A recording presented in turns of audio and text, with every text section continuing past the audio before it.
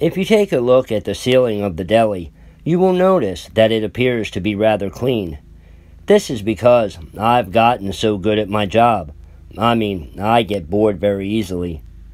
This leads me to cleaning random things.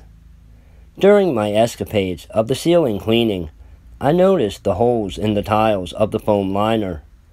Thousands of small pen-sized holes that I assumed were just texture to the panels.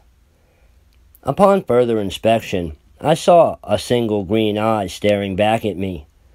I immediately removed the tile in the corner to discover that above the ceiling was a large 8 foot high crawl space. Well, maybe stand space is a better description. This tile should remain open just in case the eyes return. Now, in case of an eye sighting, please grab the employee standard issue ladder and hoist yourself up there to figure out what has been spying on you, besides the owners, that is. To this day, I will occasionally see these eyes staring, either from the holes or peering down from the open tile. I have yet to determine what these eyes belong to. However, the shape and composition is nothing like anything that I've ever seen before. In my spare time, I hunt and do pest control outside of work, so I know what animal eyes look like. Furthermore, I occasionally hear footsteps in the ceiling, above the music that plays through the store's speaker system. These footsteps are rather loud, and do not seem to match the weight of the size of the green eyes, yet they seem to coincide.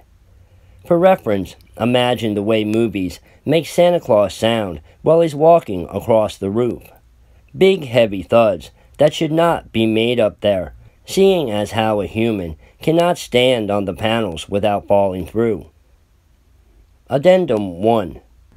I have recently learned why there is an odd-shaped, unreasonably thick wall separating the cafeteria from the rest of the store. I discovered a small drilled hole in the wall just above head height. I looked inside and felt immediate regret as thousands of green eyes stared back at me. I have since plugged the hole with plastic wrap. I have also hid a gun somewhere in the deli. The owners must never know, but it is imperative to our safety.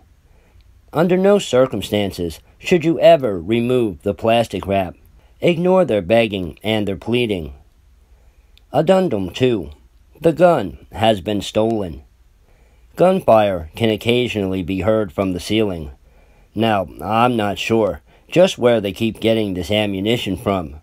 I mean, I'm too afraid to check up there. No matter how much they beg me, I will not give in.